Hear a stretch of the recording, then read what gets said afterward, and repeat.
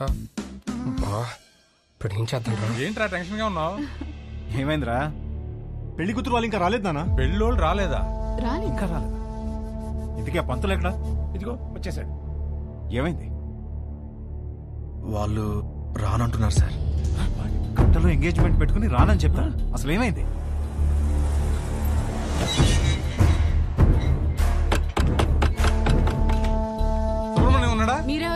బయటికి పిలవండి మాట్లాడాలి. నువ్వు ఆగరా. అరుస్తున్నారు.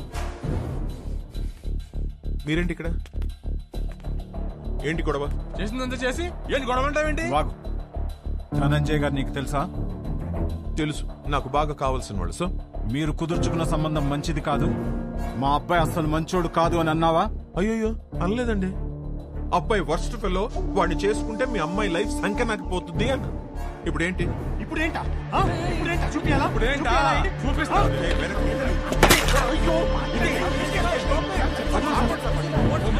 ఫోన్ తీస్తావా ఫోన్ తీస్తావా నువ్వు పోలీస్ స్టేషన్లో ఉన్నారా నా ఇంటి బయట గొడవ పడుతున్నారు నువ్వు పోలీస్ జీప్ వేసుకుని రారా పట్టుకోండి సార్?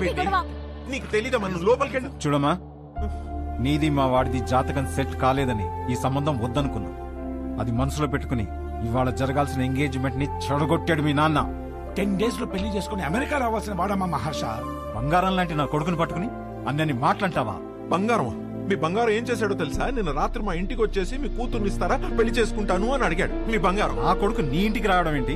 నీ కూతుర్ని అడగడం ఏంటి? వచ్చాడు సార్. ఒక లీటర్ విస్కీ బాటిల్ పట్టుకొని వచ్చాడు. నానా హర్ష నాకు తెలుసు. ఇలాంటిది ఏమైనా ఉంటే నాతో మాట్లాడతాడు. నిన్నెందుకు అడుగుతాడు? వస్తే పిచ్చి పిల్ల. నీకు ఇదిగో ఎన్ని మిస్ కాల్స్? నూట నలభై. రే రౌడీ ఫిల్ వచ్చేసావరా ఎన్ని సార్? నూట నలభై? ఇది మీ వాడి నంబరేనా సార్? ఇక్కడ నా డిసిషన్ కోసం అక్కడ వెయిటింగ్ సార్. ఇప్పుడు పోలీస్ స్టేషన్కి వెళ్దామా సార్?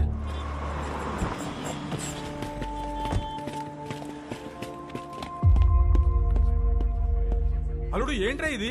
నీ గురించి ఏదేదో చెప్తున్నారు. నానా నేను జరిగింది చెప్తాను నానా. సార్ ఏంటి సార్ ఇది? చెప్తా. ఏమయ్యా ధనంజయరావు? ఈ ఎంగేజ్మెంట్ మీరు మీరు నచ్చి ఫిక్స్ చేసుకున్నారా? లేక ఇతనికి మీ కూతురు నచ్చి చేసుకున్నారా. ఆ రోజు నా కూతురు సూపర్ అని అందరి ముందు చెప్పాడు. కదా? ఆ, ఇప్పుడు నా ఇంటికి వచ్చి నా కూతురు సూపరు పెళ్ళి చేసుకుంటానని అడిగితే ఏమన్నది తన్ని? ఈ ఒక్క మాట అన్నందుకే నీ ఫ్యామిలీ మొత్తం పందుల గుంపుల్లో పిచ్చి పిచ్చుకుందా నా ఫ్యామిలీ గురించి నీకేం తెలుసు? నువ్వు మంచోడని నీ ఫ్యామిలీ నీ ఫ్యామిలీ మంచిదని నువ్వు భజన చేసుకుంటూ నేనే రా మంచి- వెదవ్వి! ఆ రోజు అడిగావు కదా ఇప్పుడు చెప్తున్నాను నువ్వు వెదవ్వే! అయిపోయావురా నువ్వు. యు ఫినిష్డ్ ఇదొక కేసా? పెట్టి కేసు. మీరేం వరి అవ్వకండి. నేను ఉన్నానుగా. నాతో రండి. ఆనర్ నిజంగా వాళ్ళ అబ్బాయి అంత గొప్ప క్యారెక్టర్ ఉన్నవాడైతే చాలా సంతోషించాల్సిందే.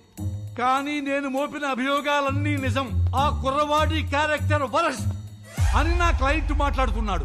మీరు పర్మిషన్ ఇస్తే సాక్షుల్ని మీ ముందు ప్రవేశపెడతాను. ఎవరు ఎవరికి క్షమాపణ చెప్పాలో ఇక్కడే తెలుసుకుందాం యువరానర్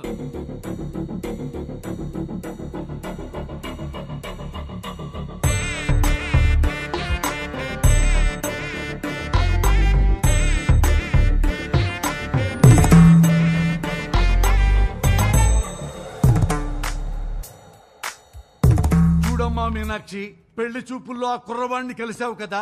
ఏమడిగాడు నిన్ను? What do you expect from your married life అని అడిగాడు సార్ ప్రతి పెళ్ళి చూపుల్లో అడిగే క్వశ్చనే కదా. ఇందులో ప్రాబ్లమే ఉందమ్మా. ప్రాబ్లం క్వశ్చన్లో కాదు మిస్టర్ జనార్దన్. ఇతను ఎక్స్పెక్ట్ చేస్తున్న సమాధానంలో ఉంది.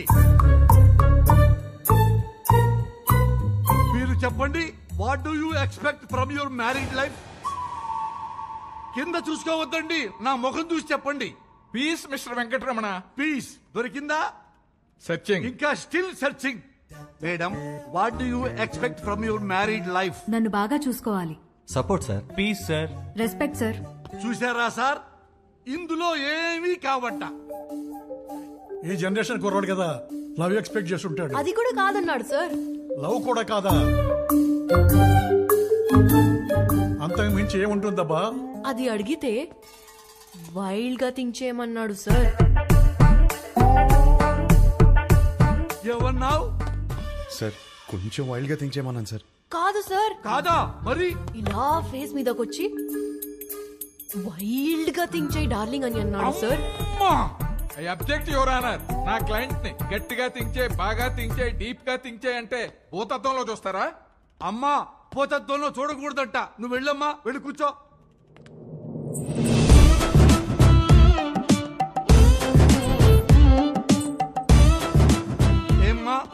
కూడా అదే క్వశ్చన్ వేశాడా?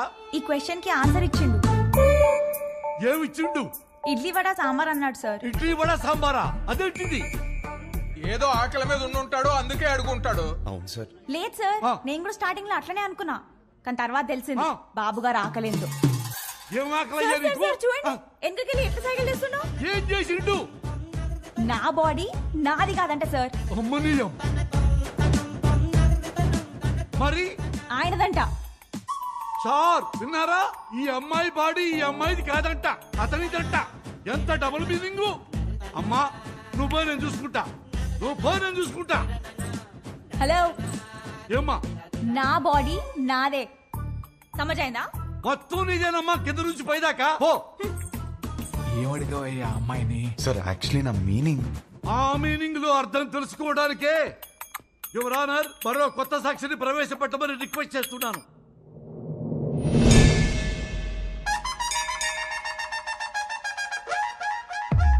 సార్ మీకు సన్ రైజ్ ఇష్టమా సన్సెట్ ఇష్టమా? నాకు సన్ రైజ్ ఇష్టం అమ్మా పొద్దున్నే ఫిల్టర్ కాఫీ తాగి న్యూస్ పేపర్ తోనే డే స్టార్ట్ అవుతుంది. కదా?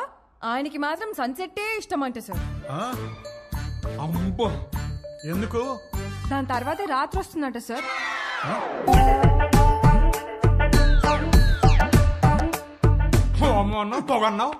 This is the fire the మంట బిహైండ్ ద స్మోక్ అంతటితో ఆగలేదు సార్. పెళ్ళి చేసుకోవాలంటే డర్టీ మైండ్ ఉండాలన్నాడు. అది కూడా గుడిలో. అమ్మమ్మమ్మమ్మ అది కూడా పవిత్రమైన గుడిలో నీచమైన భాష వాడతావా?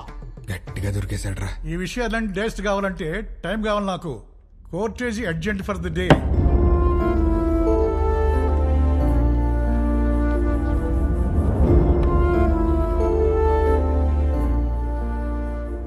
చేసిందంతా చేసి ఏం ఆలోచిస్తున్నావు? ఆ అమ్మాయి నా గురించి ఏం ఆలోచిస్తుందో? ఆహా ఇంకా అమ్మాయి గురించి ఆలోచిస్తున్నావు బాబు? అక్కడ చూడు మీ నాన్నగారి పరిస్థితి. క్షమించండి. తప్పు మా వైపే ఉంది. వాడి పెళ్ళి జరగకపోయినా పర్వాలేదు. వాడి ఫ్యూచర్ పోతుంది. దయచేసి కేసు వాపస్ తీసుకోండి. ఓకే. నేను కేసు వాపస్ తీసేసుకుంటా but on one condition twenty four అవర్స్లో ఇండియా వదిలి వెళ్ళిపోవాలి. ఓకేనా?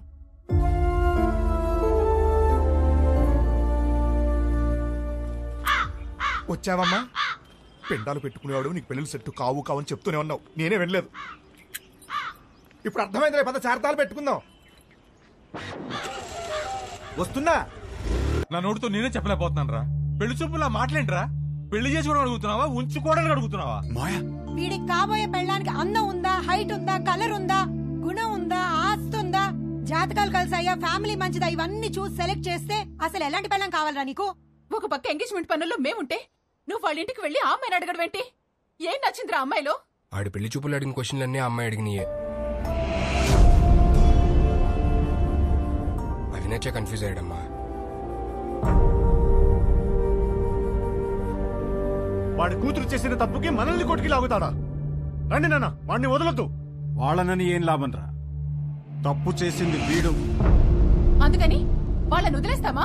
ఏయ్ ఏమైనా చెప్పాలనుకుంటే గదిలోకి వచ్చా. ఆ అమ్మాయి చెప్తే మాత్రం వీడి బుద్ధి ఏమైంది? నా కొడుకు అన్ని తెలుసు అన్ని తెలిసిన తెగ పావేవుగా? ఇప్పుడు అందరికి పావేడు ఏకంగా సున్నం. అది కాదు నాన్న యాక్చువల్లీ చూడు వాడిని బయలుదేరమని చెప్పు.